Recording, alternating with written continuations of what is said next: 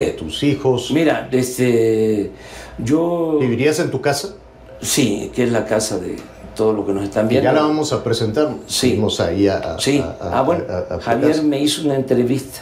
Ya en ven que este, sí, ya lo vamos, vamos a este, presentar. hay- Anduve revisando los cajones. Sí, hay muchos este, mitos, ¿no? este, y desinformación.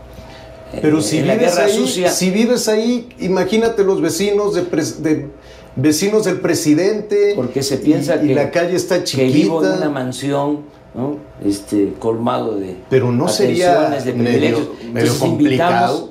Invitamos, invitamos a Javier. Sí, ahí está. Ahora sí que entraste Muchísimas hasta- gracias. Hasta la cocina.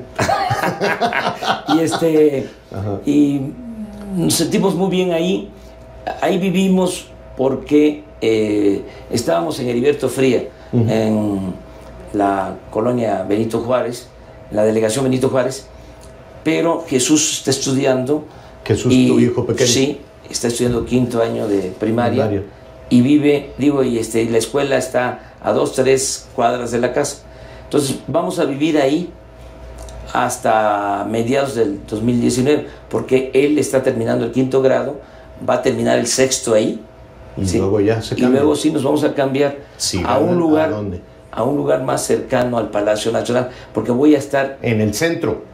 lo más cercano al Palacio Nacional, vamos a rentar una casa, porque voy a estar todos los días en Palacio, desde las 6 de la mañana, El eh, de recibiendo seguridad. el reporte de seguridad, el parte ¿Qué te de parece seguridad. o- eh, si nos visitas de nuevo? Porque ese es un